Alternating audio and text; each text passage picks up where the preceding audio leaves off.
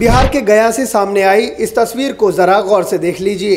हो सकता है पहली बार देखने पर आप इस तस्वीर को किसी खाप पंचायत के तुगलकी फरमान का नतीजा सोच रहे हों।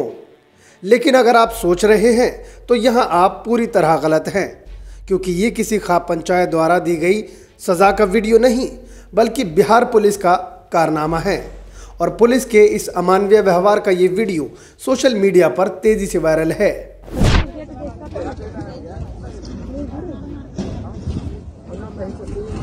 मिली जानकारी के अनुसार ये घटना बेलागंज प्रखंड के आड़तपुर गाँव से गुजर रही मोरहर नदी के पास की बताई जा रही है, जहाँ पुलिस नदी में बालू की बंदोबस्ती की मापी करने पहुँची थी।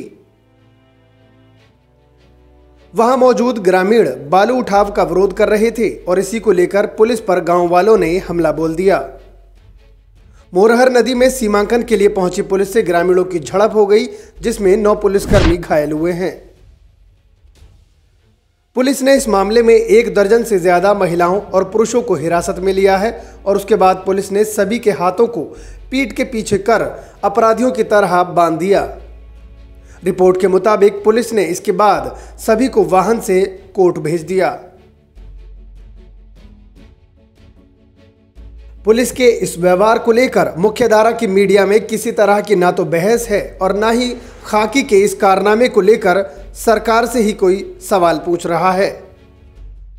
दोस्तों, पुलिस के इस कारनामे की वायरल होती वीडियो पर आप लोगों की क्या प्रतिक्रिया है, कमेंट सेक्शन में कमेंट करके ज़रूर बताएँ। वीडियो अगर पसंद आई हो तो इस वीडियो को लाइक करें और शेयर कर दें। News desk, time 24 news. गाँव से शहर तक।